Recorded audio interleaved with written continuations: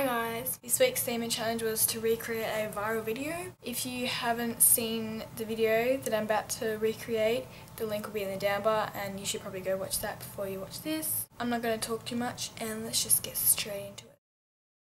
My mom just cancelled my brother's World of Warcraft account and now he's freaking out.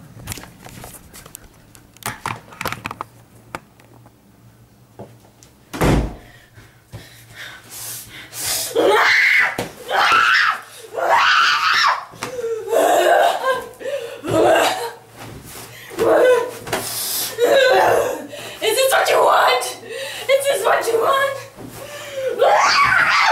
I'm gonna run away and never come back.